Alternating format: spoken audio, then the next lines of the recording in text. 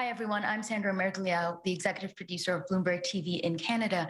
And we're going to be talking about decarbonization strategies, carbon capture, carbon storage, CCS, as they say, uh, and sustainable fuel, and where we are today and what needs to be done to reach our goals of 2030 and beyond. And joining me today is uh, Mike Belenkie, President and CEO of Advantage uh, Energy and Entropy, and Marcel Teunissen, Chief Financial Officer of Parkland. Uh, gentlemen, thank you both for joining me today. And um, I'm going to get straight to it since there's so much to discuss today. Uh, Mike, I want to start with you. Where do you see the biggest gap in Canada versus globally, um, uh, specifically in your industry in terms of decarbonization goals, you know, and CCS? Sure. Thanks, and thanks for having me uh, on the panel today. I'm glad to be a part of this.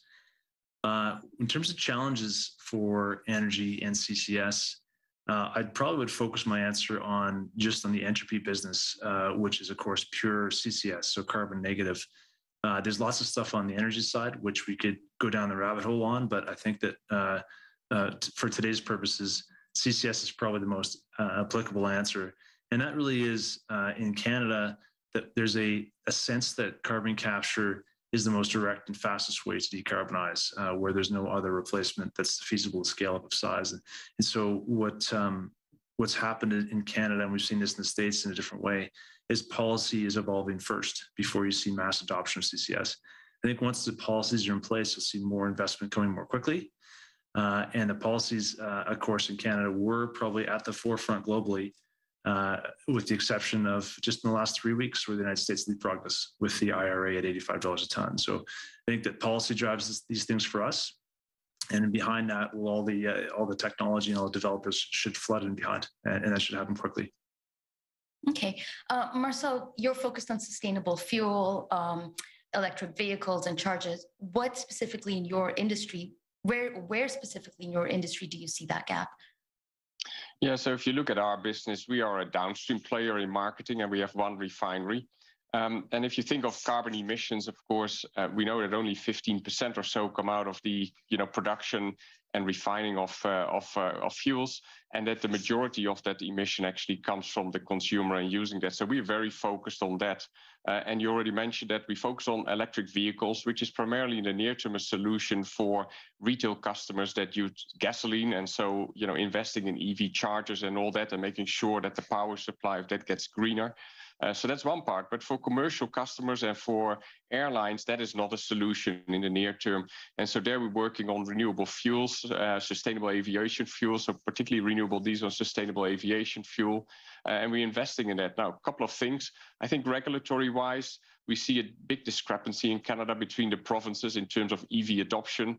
Those governments that actually subsidize it, they actually see good penetration, but where there's no subsidy, you don't see it. Uh, and that seems to be the primary thing. I think the infrastructure, the charging infrastructure will follow uh, quite soon after that, and that's good progress. Then on the renewable diesel um, uh, manufacturing, particularly, uh, and and Mike was already referring to that with the uh, the IRA, the Inflation Reduction Act in the U.S. A lot has changed recently, uh, and it's important for Canada to kind of you know see itself as part of the North American market, and these uh, there needs to be a level playing field for Canadian projects to be competitive. Mm-hmm. And uh, Mike, let's go back to you. Uh, what creative decarbonization strategies would you like to see the government and industries implement? I know you talked about, you know, having stable policies first of all. Yeah, yeah, thanks. So one thing that we're often concerned about is the application of different colors uh, to identify different products that are desirable versus non-desirable. Or for you know, in, in in more explicit terms, if it's fossil related, it's bad if it's renewable, it's good. These things are not really uh, quantitative advantages, they're simply brands. Uh, so, policy and really uh, capital deployment should go towards highest bang for your buck at a time like, like now, where we're seeing uh, not just the war in Ukraine and, of course, the energy crisis in Europe, but inflation uh, globally. These things are becoming meaningful and real, and everything we spend money on feeds that inflation. So, uh, so as, as, it relates to smart policy and smart application of technology to decarbonizing, it should be dollars per ton. And that's really what it comes down to, uh, the highest uh, bang for your buck. We love to see all carbon priced similarly mm-hmm. as much as possible and allow the market to figure out how to do that most uh, most efficiently. Uh, and and so rather than having different policies for different technologies that that um, might result in some demonstration projects, but not mass adoption of a real sea change for carbon uh, reduction. Hmm. And Marcel, do you agree with that? What would you like to see in your industry? Yeah, no, I would agree with that. And as I already said earlier, kind of alignment between Canada and the US, and then, of course, stability of the framework, that's pretty critical. Uh, and we have seen both in the US and Canada a bit of shifting uh, over time, and that makes kind of doing big uh, capital investment projects like a renewable diesel plant makes it a bit harder. I think we're quite fortunate. We have good support from the BC government, from uh, also the federal government to proceed with this project. Uh, and to get to get going uh, with that, so we we feel quite fortunate with that. But of course, as legislation changes, whether that's in the US or in Canada, I think it's always important that we uh, recalibrate and continue to be competitive. And we did mention the IRA, the Inflation Reduction Act in the U.S., and that $85 per ton, um, which also, you know, qualifies smaller companies and smaller projects to uh, qualifies them for these subsidies, which you know inevitably opens up the market for companies to invest in green technology. Um, does it make sense for Canada to implement something similar? And what headwinds could we see if you know if if Canada does that, or for Canada to do that? Mike, why don't you go first? yeah, I'm happy to take that first. Uh, this is something. So I, I, actually smile because I'm I'm starting to feel like I'm repeating myself too frequently uh, in other uh, discussions as well. But really, Entropy is a decarbonizing company pure play, all we do is create negative carbon emissions. Uh, and we go place to place looking for the best projects where we can apply capital, bring that capital to the table, and create carbon negativity by taking carbon from what would be in the atmosphere and otherwise putting that into a geological uh, permanent uh, grave. So that, so you know, if we think about entropy as a as a entity that that can transcend um, national boundaries or provincial boundaries and go for the highest value, then we will certainly go to the area that has the best policy. And right now, the IRA has created a, a better uh, incentive environment to actually go out there and invest in decarbonizing opportunities with a guaranteed revenue stream, really. So if you think about carbon credits as a derivative of carbon, what we need is the, the, the lowest risk derivative value stream. So a 12 year value stream at $85 a ton is something that you can bank against. It's a promise to pay from the federal government of the United States. What could be lower risk? Uh, whereas in Canada, that what we have is a carbon tax that we're trying to abate. So it's actually a derivative of a tax. Uh, and, and that derivative is entirely subject to political will. So with political will shifting, there is a risk that carbon price could vary. It could go up, it could, down, could go down, it could go away. So when you think about carbon taxes, these are great tools to disincent emissions or, or consumption, you could say. But it's a very weak tool or, or you know, a, a very, very poor tool, tool to incent infrastructure style investment. These, these projects require hundreds of millions or billions of dollars, and they have a decade long payout window. If, if a, uh, government policy changes or a tax policy changes during that time, then makes your investment uh, irrelevant. It, you could stand to lose everything uh, just simply on the stroke of a pen uh, in Ottawa. So these things are important, and certainly what, what I would say is up till three weeks ago, we saw Alberta as being a superior carbon market, Alberta for, for CCS and more recently uh, with the IRA, we think now the best place to invest is certainly in the states. Okay, and so what kind of um, sustainable financing ideas would you like to see in, in that case for, to make Canada, you know, uh, level level Canada back up on the playing field? Yeah, and, and that goes back to uh, how we chose the, the path we've taken with an ITC that funds half of every project, a cashback mm-hmm. funding. It's a great start and it de-risks, it shortens the payout period uh, for an infrastructure style investment like that. But uh, if you just have to spend, instead of, instead of spending a billion dollars on a project, now you have to spend a half a billion dollars on a project. That half billion dollars is still at risk through that period of time. So the company that makes that investment has to have that tolerance for risk. Most infrastructure investors do not have that type of tolerance for risk. So we think in Canada, we do require a contract for difference of structure, or the term that I like to use is a carbon purchase agreement structure. I use CPA, carbon purchase agreement, because it's a tool. It reflects the the, the power purchase agreement structure, which everyone really understands quite well. Before you can build a a well financed project uh, in power, you usually need a PPA uh, with a with a guaranteed income stream. So that structure is uh, an advantage. We think that's going to come out of the feds at some point. It's not a, it's not an increased subsidy level so much as a reduction of uncertainty in the future, where it's a contracted offtake of carbon negativity. And assuming that the feds get there on that tool, then Alberta, Canada should be back on par with uh, the, the Canadian uh, investment um, sort of incentives. And Marcel, oh, I want to bring you back into this conversation. Um, you know, do you agree with that? What would you like to see in terms of, you know, um, uh, find subs, uh, sustainable financing ideas?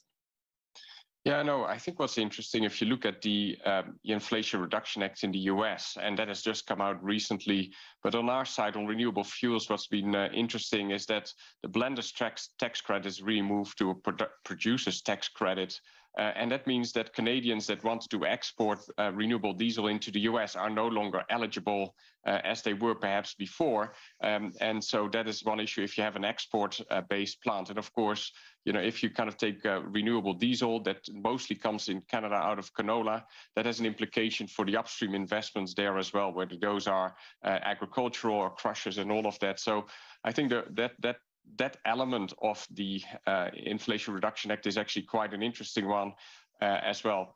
Now, on the flip side of that, uh, for US producers, given the legislation, and again, it's about uh, you know quite technical in the detail of carbon intensity, you find also that US producers are not as likely to uh, over the long term to export to Canada, but in the near term, there's been uh, there's been a creation of more certainty around the benefits that are actually available. Uh, Canada has chosen a different way, and we benefit from that. There is an upfront uh, co-investment or subsidy on the investment. But as Mike said, there's still money at risk uh, ultimately. Um, and I remind people that ultimately we invest in stability of regulation because making renewable fuel is more expensive than making traditional fuel. But the benefit is it comes with a credit that we that fits within an overall low carbon fuel standard. And again, if you see a change in in in regulation, a change in government suddenly that can all change. Now, we don't expect that it will change. I think there's good public support to go down that route.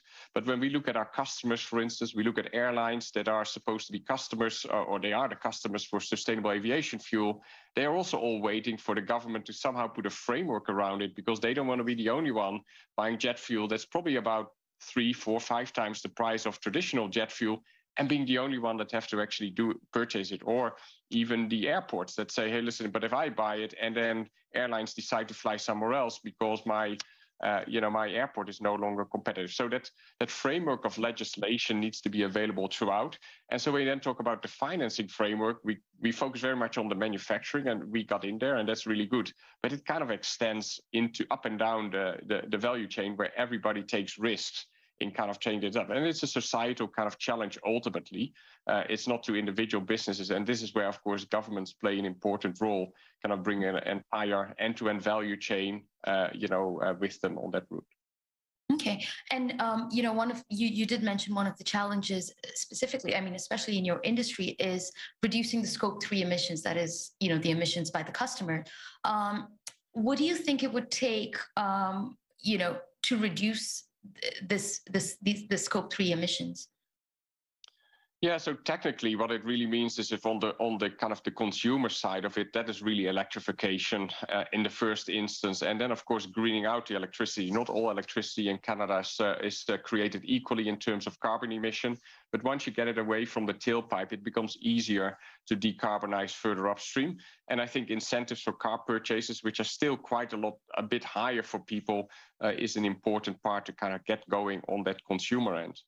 I think if you talk to our commercial customers, they all, the big customers, they all have, so industrial customers, airlines, uh, shipping companies, they all have their own uh, kind of, uh, you know, net zero kind of ambitions and, and targets which they want to achieve. But they also want to make sure that if they do it, that they're not the only one doing it in the industry because, you know, customers ultimately buy the cheapest product. And so if you have a more expensive input factor, uh, you, it makes you less competitive. So what we hear a lot from customers is like, as long as the framework is equal, then we can ultimately pass the extra cost on to the customer. And, and then once the industry scales up, probably the costs are coming down uh, and we might up in a much better position. So it's all about how do you kind of get going uh, on this journey. And I think kind of, um, you know, kind of having a level playing field, not just in Canada, but particularly with the US is pretty critical. Mm-hmm. And long term versus short term, right? Yeah. Um, what challenges, um, and this is to, to both of you, what challenges uh, does your company face towards your, uh, your current climate goals? Um, Mike, uh, let me start with you. Sure, and maybe I'll answer on both Advantage and on Entropy.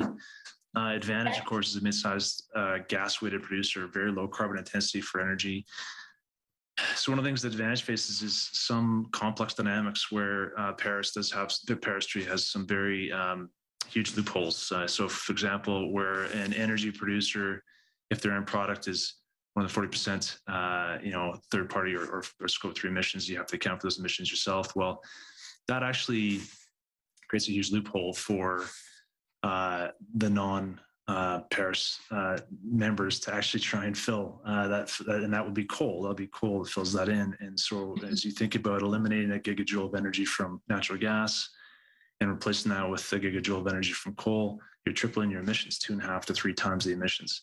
So the world loses in that situation. And so we do need to have uh, some of the loopholes that are in current climate policies and frameworks plugged or, or expanded. I think that a good way to think about that is that we should probably introduce scope four emissions, which is, uh, of course, a nascent concept. Most people haven't heard of it yet, but scope four emissions are, are really a reflection of the good that your emissions also offset with. Mm-hmm. So if gas replaces, pardon me? Yeah, so oh, if gas sorry. would replace coal, uh, then you get credit for the reduced emissions from the gas versus coal wind. So, so that that that's probably the piece we think about most on the traditional energy business, Advantage Energy. Um, mm-hmm. You know, frankly, and how are you planning to uh, tackle that? Uh, it, well, of course, this is something that a mid-sized energy producer in Canada is unlikely to be able to shift. But we do focus on, you know, number one, we focus on being very low emissions, and and so that creates a market advantage versus other supply. You know, and it's as yeah. simple as that. This is supposed to be a competitive game where we all are striving for uh, the best product. And the best product here is low cost and, and secure, and of course, uh, low emissions. So that's the that's the way we tackle that with an advantage, and we think we're winning. Frankly, I think the Canadian and American energy companies are much much better than than um, other suppliers, including Russia, for example, when it comes to when it comes to emissions, security, and and uh, affordability. So that's the that's the piece on the conventional energy uh, business, uh, and we think we'll win that long term simply because it's a better product. Uh, on the carbon capture business, because we've created a business that is just one part of the chain, and that chain is entirely carbon negative. Our scope one, two, and three emissions are entirely carbon negative uh, our, our, our goal there is simply to grow the business as quickly as possible. And, and so that, that um, it seems as though there's a great deal of uh, support within every type of political affiliation, at least with any pragmatic political affiliation, where carbon capture is a force for good. It exists to do one thing, it has to be carbon negative. Uh, and that goes back to the same initial question do we believe that we want less carbon in the atmosphere or not? And if it's yeah. just simply a matter of getting less carbon in the atmosphere, let's put money to work, make the markets fair, and allow those that are the lowest cost structure to to win that game. Uh, okay. And we think that that's uh, you know the, the technology we have uh, within Entropy is, is, is putting us in a good spot to be uh, a winning party there. Okay, uh, Marcel, what about you? Uh, we barely have like a minute and a half, so I, I apologize, but very quickly. No, lots has been said already on regulation. I think the other part is companies themselves need to do stuff. And we, we do live in interesting times just from a macro environment and inflation. So, in terms of investing in mega projects, that's of course top of mind as well. There's actual work that needs to be done uh, and the normal project uncertainty that you get. So, I will mention that. I think the second, the, the second part is really around customer preference right? And companies play a role in that. It's not only the government that makes customers switch; it's also us actually uh, you know, kind of doing our job, talking to our customers and aligning with our customers on, you know, the, the, the benefits of the of the products. We think for the, the consumer, uh, you know, we kind of invest in our retail stations to make sure that if somebody comes charging and needs to hang out there for 20 minutes, uh, that that is actually uh, better than just going to the back of an industrial zone and charging into a fast charger. So we're investing in that piece as well to attract customers. Um, and then with our commercial customers, very much the dialogue that we have, helping them to navigate, uh, you know, the, the regulatory piece uh, is an important part that we also uh, working ourselves. In addition to, of course, you know, kind of, you know, talking to governments and regulators. It is a complicated space, but I think if everybody does their part, we will move forward here.